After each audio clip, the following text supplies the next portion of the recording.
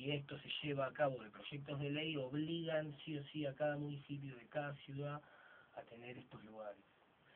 Eh, en realidad tampoco mm, creo que me derive, no sé si te conté. No, no, perfecto, perfecto, pero La pregunta, la la pregunta- pregunta puntual, Sí. eh, no me involucraba porque no tenía quizás eh, la gente para involucrarme y la dedicación. Creo que también tuve una estabilización en mi vida profesional como para en dos años, tres años, empezar a trabajar muy desde abajo, viste, a pulmón en todo este tema, para poder empezar a generar en diferentes lugares hasta empezar a concretar las primeras pistas y bueno, tenemos muchas eh, que están como hechas como proyectos eh, con fecha de inicio de construcción y otras como anteproyectos o temas que bueno están ahí pendientes viendo hasta qué momento puedan arrancar. Estos proyectos anteriores, eh, ¿dónde se encuentran? ¿Dónde se van a, se van a realizar? Hicimos proyectos para Capital Federal, para el Club Gimnasia de Esgrima de Buenos Aires, hicimos proyectos para La Plata, eh, para el Partido de la Costa, para Remón Mar del Plata, hicimos numerosos proyectos que bueno,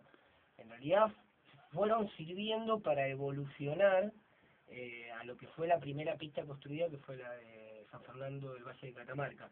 Estoy hablando de la gestión en la cual yo colaboro con la Asociación Argentina de Claro. que es eh, una gestión que tiene tres años, cuatro años, que está como presidente el Martín Pivoto, que estuvo acá Estuvo acá tiempo. tiempo.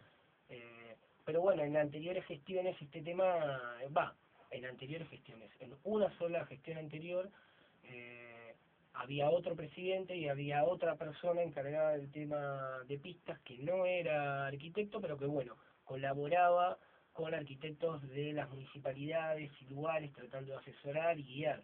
El problema es que había una ruptura de vocabulario entre el vocabulario del skate y el vocabulario de ingenieros, arquitectos, eh, asesores en iluminación, sanitarias, etcétera.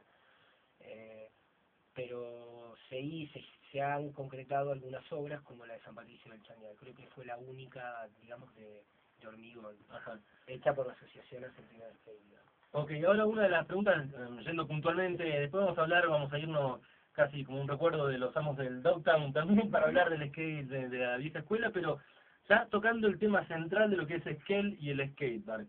Eh, ¿En qué consistiría o en